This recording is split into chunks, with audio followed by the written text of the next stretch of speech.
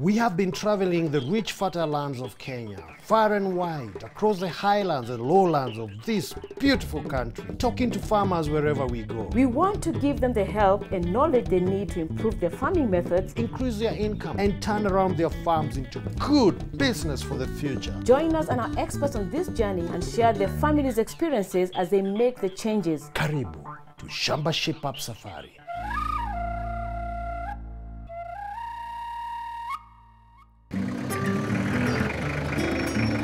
In our quest to shape up more and more shambas all over Kenya, we have traversed many areas and found many, many farms that needed a shape up, and some farms that were running well. As we sought to find a farm in the Timau area some kilometers from Nanyuki, we came across one of the most amazingly run farms we have ever seen. This is Farmer Mudhonwi's pride and joy. And Mudomi took us around his farm.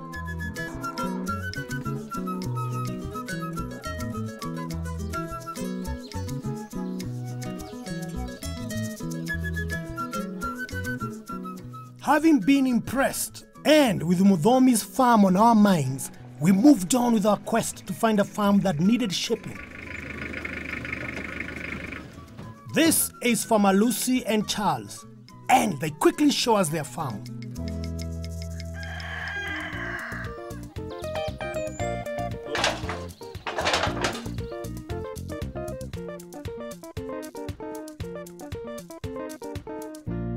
Charles and Lucy, we've gone around your farm and we've seen it and we've looked at your potatoes. Now tell me, what problems are you having with your potatoes?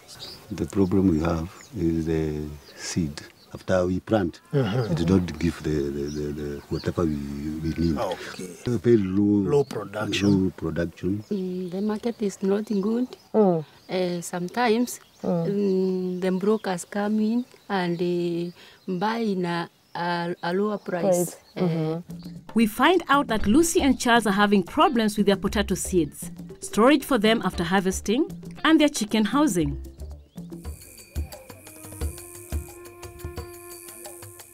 We're here, we are ready. Let the shape up begin.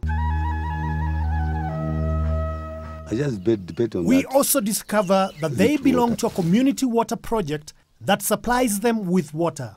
No, so you're just using one sprinkler for the whole farm. Is no, no, not the whole of farm, a portion. A portion, you can't plant the whole of Chaba with that. So you're saying there's not enough water? It's not enough water. not- but during mm, dry, Dry season, season. it disappear sometimes. Ah, the water. Eh, So, to help Lucy and Charles with the changing weather patterns, we are constructing a water pan to store water. This has taken five days of diggings, and more is still to be done.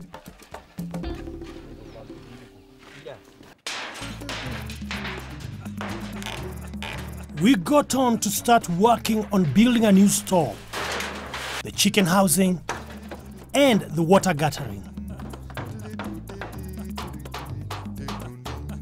We called on Edwin, an expert on potatoes, to help. Now, Edwin, yes. what should Lucy start with? Well, Lu- Lucy should start from uh, run preparation, which she can do with the bulls or by hand with the jembe. And then she has to break all the clogs and make sure that she has removed all the weeds so that she is now prepared for making the trenches. Yeah. After she does that, what's next? She should make the, the rows uh, mostly from east to west side so that she can uh, capture enough sunlight Remember, when planting potatoes, the spacing should be three feet from row to row and one foot from seed to seed. Lucy, since I'm seeing you're starting to prepare your land, what kind of seeds are you going to use to plant? I use the seeds that I planted the last season. Uh-huh. Yes. Is that a good idea, Adrian? No, it is not a good idea because the more you plant the seeds, that the seed becomes old. Yeah, in a layman's you can say old. So he has to come to Kisima or a, a certified uh, grower to get new seed. New seed means that it has high vigor and high yields. Uh, yeah, so she, she should use certified seed. So, we decided to take Lucy and some of her neighbors to Kisima Farm to learn more about growing potatoes. Kisima Farm is a potato multiplication farm that produces certified potato seed. It offers extension services to farmers and hosts two farmers training days per year at an agri information center on the farm. Right now we are at Kisima Farm, and actually here is the Agri Information Center. This is where the farmers in Meru County come for their training, for their field days. Right now we are at the plots, the demonstration plots. You can see here we have three varieties of potatoes. Uh, on on your, that side you have Sherekea. Mm -hmm. Then we have uh, Tigoni White. Yes. And here there is uh, Asante, and there is also Kenya Mpia. Those are the four varieties that are available at Kisima Farm. With Kisima seed, a farmer can expect to see his yield increase from 27 bags per acre to 90 bags per acre. And how about general management? Yeah, we call it uh, good agricultural practices, GAP practices, and uh, one of them is the, the weeding. You should do weeding after after one month, and then after around two months, that's when you do the hilling. You bring a lot of soil towards the potato so that it gets space for growth. Uh, hilling is very important because you are bringing more soil to the crop. Uh, we are more interested with the root part. So once you bring enough soil to the soil uh, to the crop, it will have space for growth. As, and also the spacing is wide, three, three feet by one feet. This is to give the potato enough space to, to, to grow uh, because it is a high yielder. Okay. The other good practice that they should do was uh, rotation, as I said. Good agricultural practice include weeding, earthing or hilling, crop rotation. So, Edwin, once a farmer has followed all your instructions and have got a huge bumper harvest, what should the farmer do? Well, uh, if at the time of harvest the prices are not uh, good, the, fa- the, the prices are low, we advise the farmer to store his uh, produce in a store. We have developed uh, various storage facilities. We have two designs here that can store potatoes for up to six months and above. We also meet John Kibet, who is a farm manager, to explain what happens in the farm. Okay, so I'm seeing piles and piles of uh, potatoes, I'm seeing mud. Where are we and what exactly is going on? All these piles that you're saying that is sand and what have you, we've just harvested these potatoes. It's ready now to go for the grading. Now we are at the grading area. As you can see now, we have this uh, machine which has a conveyor belt at the bottom. So as we had seen those pile of potatoes, we'll use the tractor, forking, uh, lifting it up, bring it and put it down here so that we can be able to start now the process of selection. The farm manager goes on to say that this is where the fine soil gets dropped or separated from the potatoes. Next, the smallest potatoes are then selected to be as seed, and the lumps of soil are also removed. So those are those will be the seeds which will be called size one. As you can see, they are smaller, healthier, and they look pretty good. The second stage is the selecting of the medium sized potatoes, which are also known as size 2 and are also used as seed. Then, the bigger sized potatoes are selected for commercial use and as food to be sold in the market. And at the same time, I have my ladies here who, who will be selecting the cut ones because we don't want this one to go and destroy the seed. So this also, we, we can't throw them away.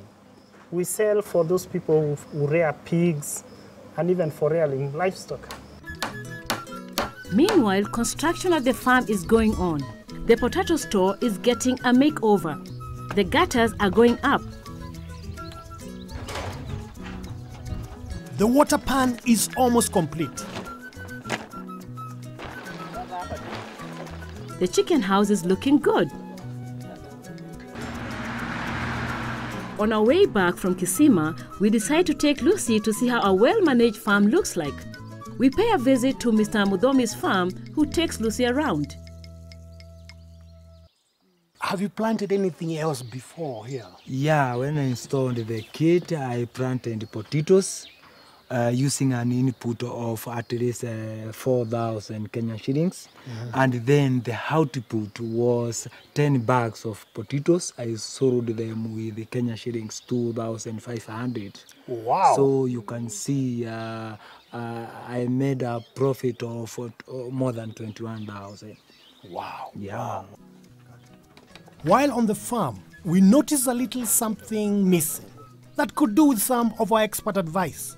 So we call on Cynthia from Cambry to talk to us about how to keep your chicken healthy and free from disease, and also on the right use of antibiotics to avoid building up resistance.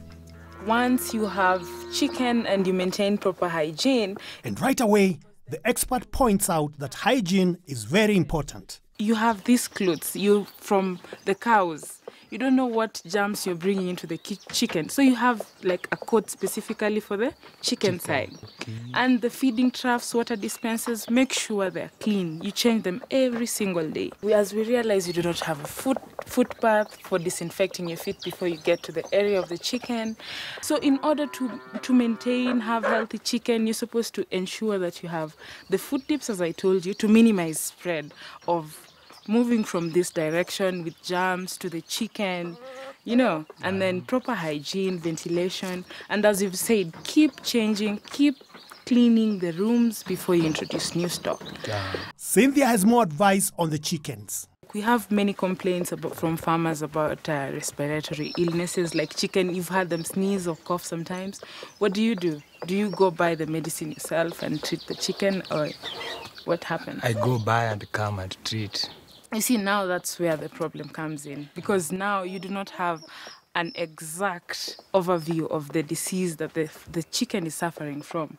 You come, you do not have the exact dosage of the drug that you're supposed to treat the chicken with.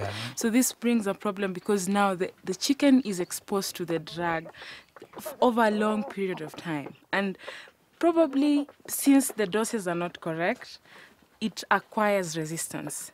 The types of antibiotics that are used to treat animals are the same as those used to treat humans. So, if resistance to an antibiotic develops in an animal, the resistance will also be transferred to humans if they eat that animal or the bird with the resistance. This means if this person falls ill, then the antibiotic will not be able to cure this person. when you realize your chicken is suffering from maybe coughing, diarrhea, you quarantine it. You remove it from the rest of the chicken, keep it aside. Okay. Treat it. Once it's gone away, then you can take it back to the stock. the stock. Just to reduce transfer from this one chicken that is sick to the other oh, stock. And then another thing is make sure before you treat your chicken, in case of any complaints, in case they're sneezing, coughing, make sure you get advice from a veterinary. I'm sure where you buy your medicine, there's a vet who gives you the medicine to the chicken. Make sure the disease is established. So, so you're advising the farmers not to go to an agrovet and buy the medicine themselves. I'm advising you as a farmer, when you realize your chicken is sick, do not go and just think like, so and so said they treated this chicken with this medicine, it worked, so I'll go buy that. No. Go to a veterinary doctor and explain what your chicken is suffering from, and he'll know what to do. Farmer Mudomi, Yes. you've heard from the expert, Yeah. and I hope you're going to follow that advice. Yeah. Do not go to the agrovet, buy medicine, and come treat your chickens. Yeah. Because you're going to be contaminating even yourself. Even myself. Yes, yes, yes. So, if you have a foot dip in front of the building, clean and efficient water dispensers, and feed containers, and proper ventilation, your chickens will be much healthier and you will not be able to use antibiotics except on rare occasions when the vet says so. This means your cost will remain low and you will have healthy chickens and a healthy family that will not be resistant to antibiotics. Naomi, we're learning so much about potatoes, and have been thoroughly impressed by Modomi and Kisima farm. and that's just the half of it. Let's see what happens after the break. We are in Timau learning about potatoes. Naomi, I think we have learned so much about potatoes that we can now go and plant. Really? Absolutely. So tell me, what is the spacing between seed to seed and from row to row? You know what? I think we better go and talk to the experts. Okay. I've come with the seed here from Kisima, mm-hmm. and we also have fertilizer. When you are dealing with certified seed, you should ensure that you have this label. This label is available in every certified bag of potato that you buy, so ensure that you have it in your, in your sack. It has all the information and it comes from KEPHIS. The certificate contains information on the species, the variety, the category, and where it should be grown. We shall compare. This is a seed for Kisima, that is certified seed, and we have the local seed that she uses. First of all, uh, we shall start with the Kisima seed. You see it, it has sprouted. Well, the seed, the local seed hasn't sprouted yet. And then she has to look at the number of eyes that uh, the, the sprouts have come from. So you can see there are more eyes that have sprouted in the, in the certified seed compared to the local seed. And also I, I, I can, I can see that there is some diseases with the local seed. Uh, local seed is not free from diseases, while the, the certified seed is completely free from diseases. Armed with the new knowledge on potatoes, Lucy was ready to go and get planting on her new potato plot. When planting potatoes, these are the steps. Prepare the ground. Break the soil lumps. Make furrows 3 feet apart and 6 inches deep.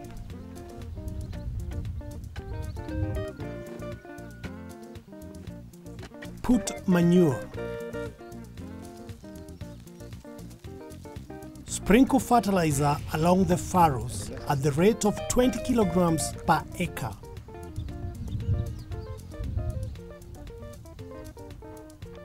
Cover lightly with soil. Place potatoes one foot apart with the sprouts facing up.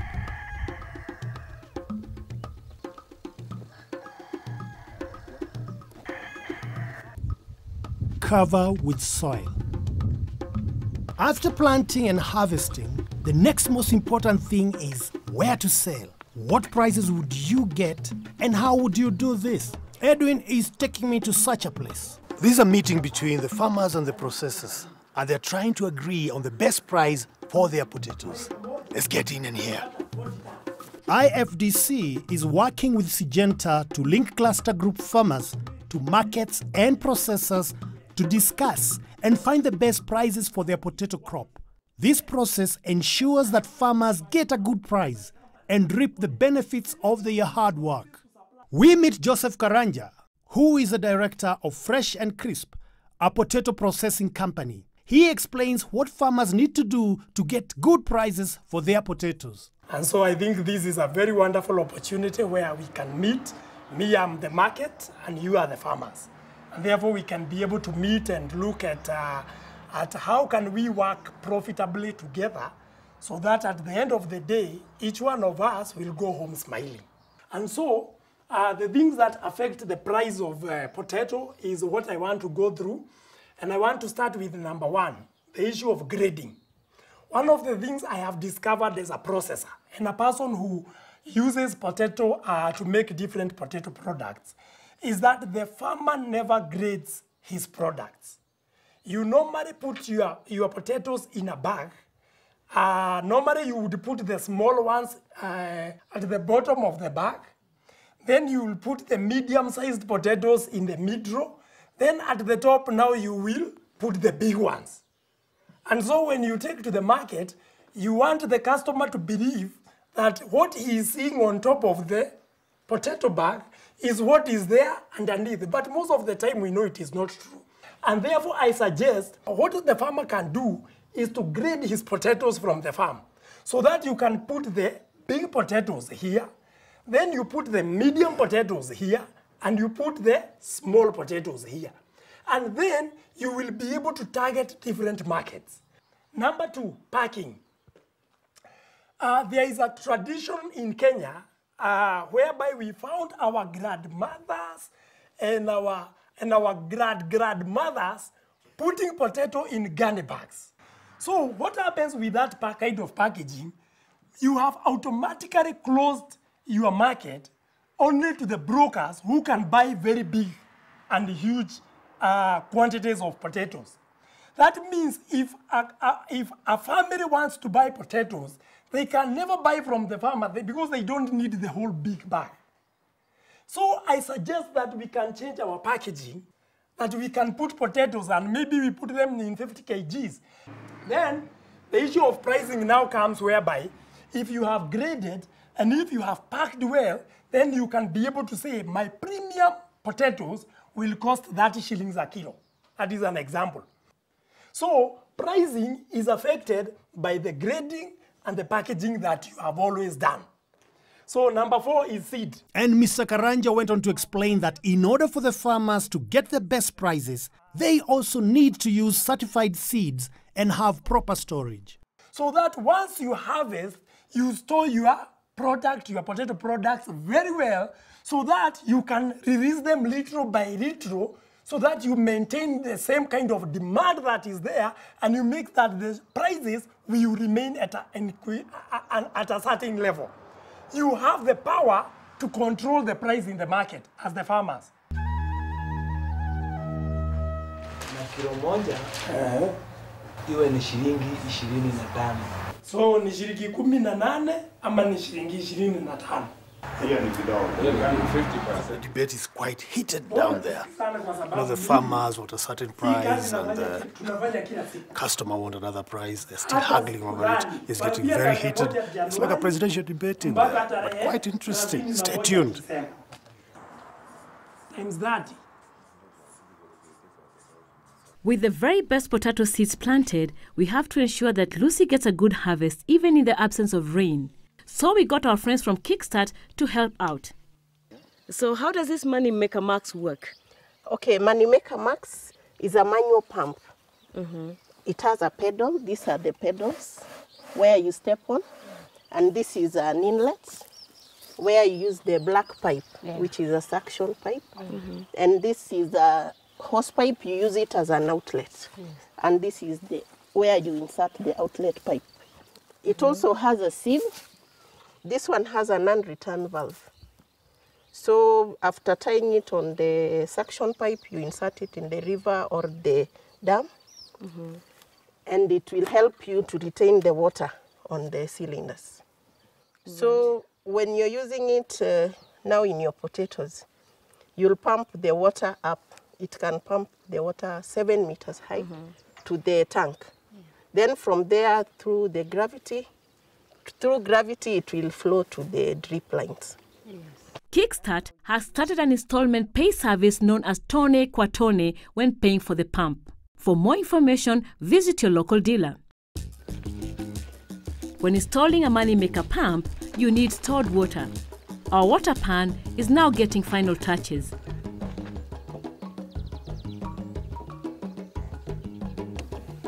Next, an overhead tank is put up, which is key for the Moneymaker pump.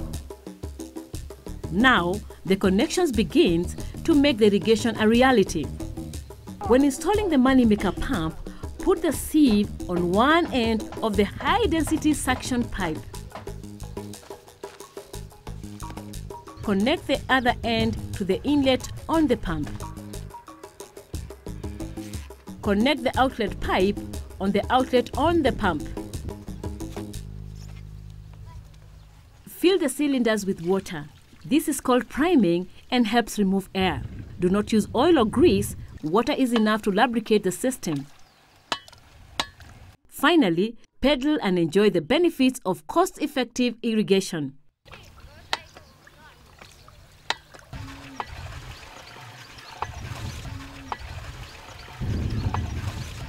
With the irrigation system feeding the new crop of potatoes and the shape up going on in the rest of the farm, it was time to take care of Lucy's heart of the home, the kitchen.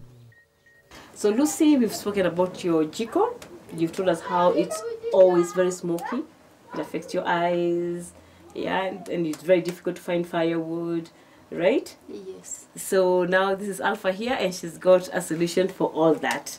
So this unique Jiko from Easy Life, the first thing it's going to do for you is to reduce your firewood problems. This Jiko uses very little firewood, so you're going to save a lot of firewood and a lot of money that. This Jiko, it also cooks very fast. So the amount of time that you're using to cook is going to be reduced. So this jiko, this it reduces the amount of smoke significantly, a lot. And that means that when you cook, it's going to be so easy for you to breathe. You won't have teary eyes. You won't be coughing and sneezing. So you'll have a really nice time when you're cooking your food. Thank you. okay, yeah. But one thing I want to know, how much firewood are you using every week? It's for 500 shillings. For 500 shillings in one week? And that's 2,000 a month. And 24,000 shillings in a year. Mm-hmm. So, let's go through the cost again. Lucy's uses 500 shillings on firewood in a week, which is 2,000 in a month and 24,000 in a year. So, by using the new Easy Life Jiko, Lucy has managed to save on her firewood. She will cut her firewood cost by half, therefore saving 12,000 shillings. Easy Life currently offers three modern firewood Jiko products. The Jikos have a unique fire chamber made of special ceramic or high quality metal. The Jikos from Easy Life last up to five years and come with a one year warranty. Easy Life stoves are clean, easy to use, save you time when you're cooking, and it uses 50% less firewood, saving you money.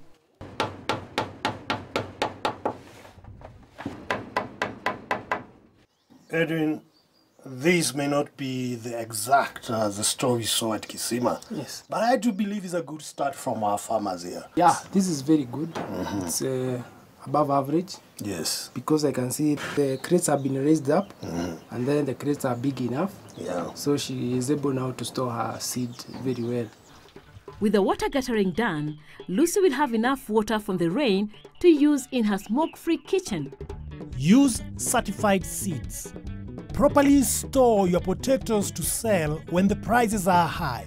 Coming together in a cluster group will help you negotiate for better prices and put your resources together to build a proper storage. We came, we saw, And we were impressed. and Lucy's on her way to becoming a great potato farmer. And with Kisima and Mudhomi at hand to help, And Shamba Shape Up experts a phone call away. our work here is done.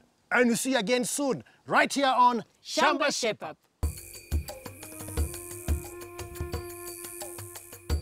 Shamba Shape Up is online. To learn more about today's topics or to watch any of our previous episodes, visit shambashapeup.com, select the episode, and click play. You could also visit our Facebook page, Shamba Shape Up, to get more information, get involved in discussions, and also get a chance to enter some of our great competition to win great prizes.